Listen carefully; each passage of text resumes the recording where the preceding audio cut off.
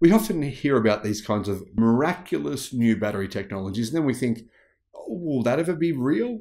Probably not. Now, the incredible thing is, this is probably the most miraculous battery technology I have ever seen in my life.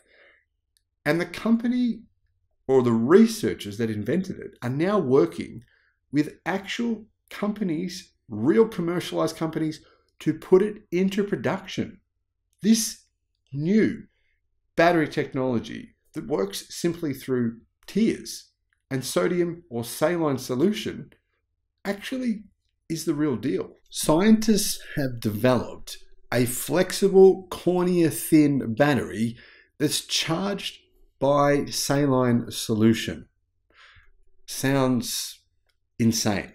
Hello, my friends. Welcome to the channel. It's great to see you. Thank you for tuning in. I'm Sam Evans. You're watching The Electric Viking. Researchers at Nanyang Technological University in Singapore have created a flexible battery that's as thin as a human cornea.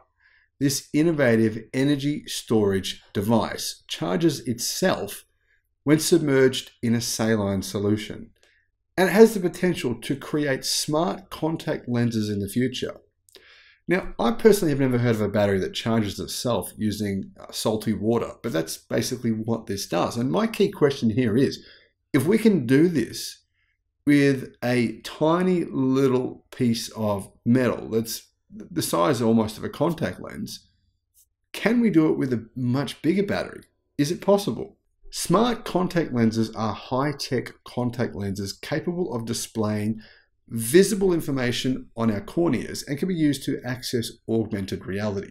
Current uses include helping to correct vision, monitoring wearers' health, and flagging and treating diseases for people with chronic health conditions such as diabetes and glaucoma.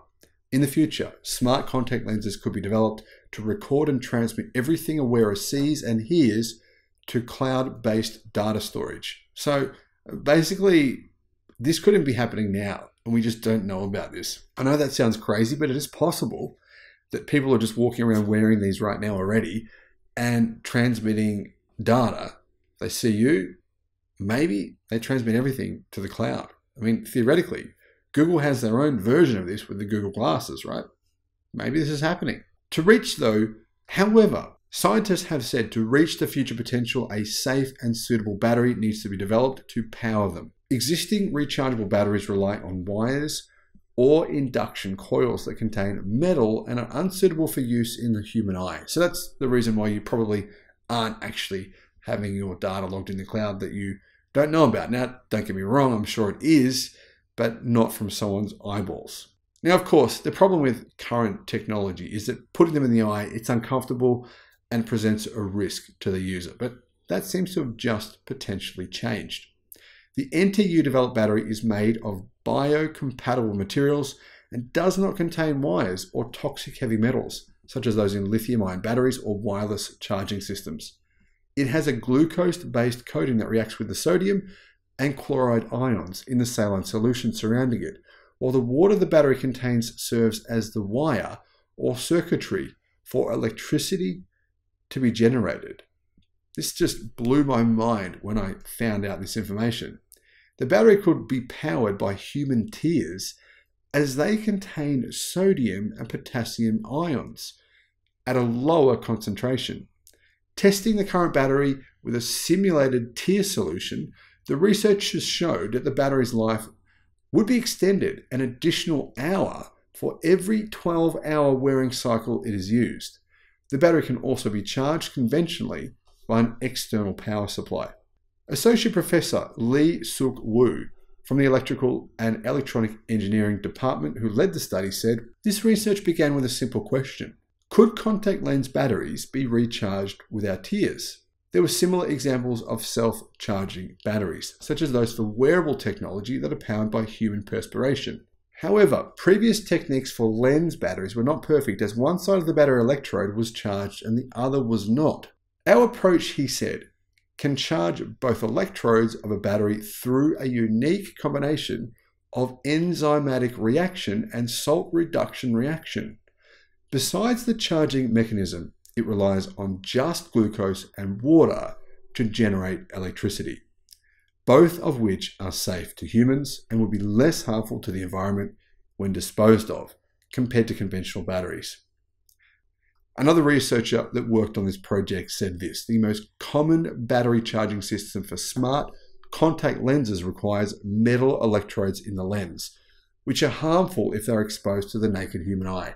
Meanwhile, another mode of powering lenses, induction charging, requires a coil to be in the lens to transmit power, much like a wireless charging pad for a smartphone. Our tear based battery eliminates the two potential concerns that these two methods pose, while freeing up space for further innovation in the development of smart contact lenses. What does this all this mean? Well, as this battery is based on glucose oxidase, which occurs naturally in humans and powered by chloride and sodium ions, such as those in our tears, they should be compatible and suitable for human usage. Besides that, the smart contact lenses industry has been looking for a thin, biocompatible battery that does not contain heavy metals. This invention could help further their development to meet some unmet needs in the industry. So, what are the details? Well, the team demonstrated that invention using a simulated eye and a battery which is about 0.5 millimeters thin generates electrical power by reacting with the basal tears, the constant tears that create a thin film over our eyeballs, for the devices embedded within the lenses to actually function. The flexible and flat battery discharges electricity through a process called reduction, when its glucose oxidase coating reacts with the sodium and chloride ions in the tears, generating power and current within the contact lenses. The team demonstrated that the battery could produce a current of 45 microamperes and a maximum power of 201 microwatts, which would be sufficient to power a smart contact lens. Laboratory tests showed that the battery could be charged and discharged up to 200 times. Typical lithium ion batteries have a lifespan of 300 to 500 charging cycles for these kinds of applications. The team recommends that the battery should be placed for at least 8 hours in a suitable solution that contains a high quantity of glucose, sodium, and potassium ions to be charged while the user is asleep. The study's author said this although wireless power transmission and supercapacitors supply high amounts of power, their integration presents a significant challenge due to the limited amount of space in the lens. By combining the battery and biofuel cell into a single component, the battery can charge itself without the need for additional space for wired or wireless components. Furthermore, the electrodes placed at the outer side of the contact lens ensure that the vision of the eye cannot be obstructed. So, what are they doing now? Well, the team are conducting further research to actually improve it. They want to improve the amount of electrical current that the battery can discharge. They'll also be working with several contact lens companies to implement their technology. So it sounds like this is actually a very real product that will, in fact, be commercialized, which is quite unusual and also very exciting. What does this mean for the future of this technology? you've got to admit there's got to have to be battery companies looking at this saying, hang on a minute, this is a really new novel idea. How could we possibly use something like this? Could we? Could this potentially replace lithium one day? I don't know. What are your thoughts? Let me know in the comments.